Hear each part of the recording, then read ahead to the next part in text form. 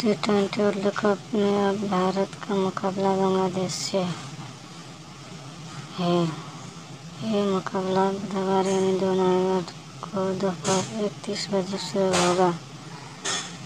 एडलेट hall में दोनों team आमने सामने होंगे।